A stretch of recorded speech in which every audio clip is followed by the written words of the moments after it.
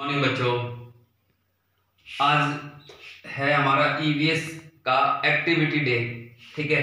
आज हम ईवीएस में एक्टिविटी करने वाले हैं एक, और एक्टिविटी का नाम मैंने यहाँ पर लिखा है विंड पावर्ड क्रेन ठीक है? विंड पावर्ड क्रेन कि विंड का मतलब हवा, और पावर्ड का मतलब हवा से संचालित होने वाली, हवा से चलने वाली क्रेन बनाएँगे आज हम, ठीक है? ये होती क्या है? इसके बारे में देखिए। ये एक ऐसी छोटी सी चीज़ होती है? छोटी नहीं बहुत बड़ी चीज़ होती है, ठीक है? एक्चुअल साइज़ जो होता है, इसका बहुत बड़ा होता है और ये दो चीज़ों के लिए काम आती क्या? टू लिफ्ट हैवी ऑब्जेक्ट्स कि भारी चीज़ों को ऑटोमेटिक तरीके से उठाने के लिए ये यूज़ होती है, ठीक है? पुराने जमाने से होती यूज़ होती है ये, पुराने जमाने से। उसके बाद में to drop heavy object safely कि अगर कोई भारी चीज़ हमें नीचे पहुंचानी हो, सुरक्षित तरीके से तो उसके लिए इसका यूज़ होता था। टू लिफ्ट हैवी ऑब्जेक्ट्स कोई भारी चीज़ हमें ऊपर तक पहुंचानी हो तो उसके लिए इसका यूज़ होता था। ठीक है? तो ये पिक्चर में कुछ ऐसे ऐसा दिखाई दे रहा है ना? ठीक है? तो चलिए आज हम एक विंड पावर्ड क्रेन का एक छोटा सा डेमो बना के देखते हैं। ओके बच्चों तो यहाँ पे कुछ मटेरियल दिख रहा है आपको। ये मटेरियल से आज हम विंड पावर्ड क्रेन बनाने वाले हैं। देखिए, ये कार्डबोर्ड का टुकड़ा है।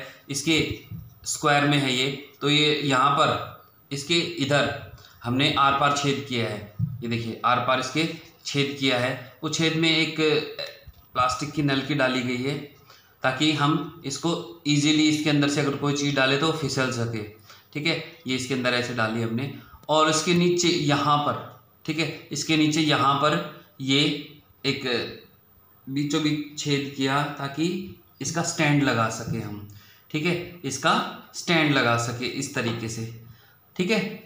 अब इसके बाद में दूसरी चीज़ जो चाहिए हमें, वो चाहिए इसका पंखा। इसका पंखा बनाने के लिए आपको देखिए, ये भी कार्डबोर्ड का टुकड़ा है, ठीक है? ये भी कार्डबोर्ड का टुकड़ा है और ये इसके ब्लेड्स बनाने के लिए छोटे साइज़ के कार्ड है जो मज़बूत है, इनको हमने ऐसे फंसाया, ठीक है?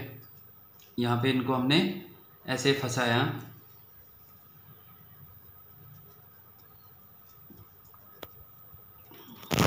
और अब ये बन जाएगा हमारा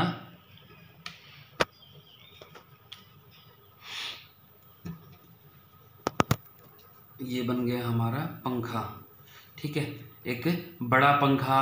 अभी ये तो हम छोटे साइज़ का एक खिलौने के रूप में बना रहे हैं, लेकिन ये काफ़ी बड़े आकार के होते थे, पुराने ज़माने में, ठीक है? जब आधुनिक मशीनें नहीं चलती थी, उस समय भी इनका यूज़ किया जाता था। तो ये एक हमारा बन गया पंखा इस तरह का, ठीक है? दूसरी चीज़ क्या चाहिए हमें? एक ऐसा पतला पाइप चाहिए और मैंने इसके ऊपर यहाँ पर ये धागा बांधा हुआ है, ठीक है? एक सिरे पे धागा बाँध दिया है इधर, ठीक है? और ये आधा सिरा खाली छोड़ दिया। अब इस आधे सिरे को क्या करना है? अभी बताता हूँ आपको। पहले ये धागा देखिए। धागे का एक सिरा मैंने यहाँ पर बांधा है, उसके बाद में धागे का दूसरा सिरा। ये देखिए, एक ये छोटी सी टोकरी टाइप में है बास्केट टाइप में है, जिसके अंदर कोई भी चीज़ हम आसानी से रख सकें, ठीक है? कोई भी चीज़ आसानी से रख सकें, ठीक है? उसके बाद में, ये ये चीज़ें ऐसे तैयार कर ली हमने, देखिएगा, ये चीज़ें तैयार कर ली हमने, इसका ये जोड़, और अब इस जो ये लंबा जो सिरा है, ये जो लंबा सिरा है, इसको हमने इस छेद के अंदर डालना है, यहाँ पर इस तरीके से, ठीक है? हो गया। अब उसके बाद में ये जो पंखा हमने बनाया, इसके बीचों बीच एक छेद है। इस छेद को हमने इस पाइप में डालना है। यहाँ पर। ठीक है? ये पाइप में हमने डाला। और इस तरीके का आपको ये डेमो दिख रहा है। ये छोटा सा शेप दिख रही है आपको। ठीक है? तो अब इसका यूज़ हमें करना है, करके देखते हैं। चलिए। ठीक है? तो ये अब हमने ये, इसका मॉडल तैयार कर लिया है। अब इसको देखते हैं काम कैसे करता है। तो देखिए, अब ये धागा थोड़ा लंबा बाँध दिया मैंने। तो इसके लिए हमने इसको थोड़ा ऊपर उठाना है। ये हमारा स्टैंड हमारे पास अभी छोटा ही है तो मैं थोड़ा अपने हाथ को ही अपना स्टैंड बना लेता हूँ। ठीक है? तो इस तरीके से ये ऊंचाई के ऊपर होता था और ये होता था। ठीक है? अब इसको अगर ऊपर उठाना होता था तो ये जो फ़ैन है, इसको उल्टे तरीके से घुमाया जाता था। और इस फ़ैन को घुमाने के लिए क्या यूज़ किया जाता था? ठीक है?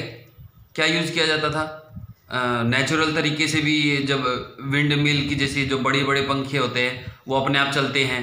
ठीक है? ऐसे ही ये भी चलता था। और उसके बाद में आ, अगर देखिए आपके सामने ये मार्कर है। ये मार्कर इसके अंदर डालता हूँ मैं।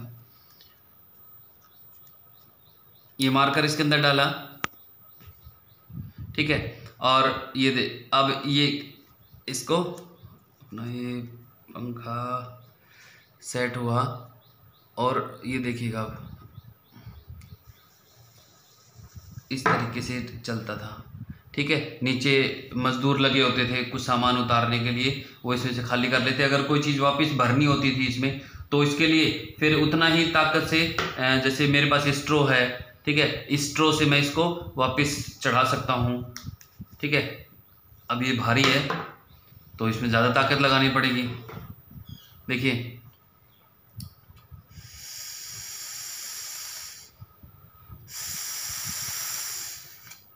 इस तरीके से ये पंखा अगर उल्टा घूमेगा तो ये ये देखिए, अब जैसे ऊपर फ़ैन चल रहा है उस फ़ैन के, उस वजह से ये अपने आप ही नीचे आ रहा है। ठीक है? अब अगर मैं इससे हवा ब्लो करता हूँ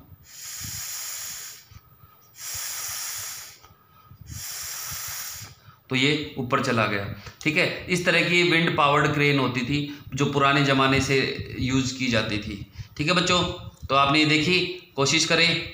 अगर आप किस पास मटेरियल है तो घर बैठे इसको आप बना के देखें थैंक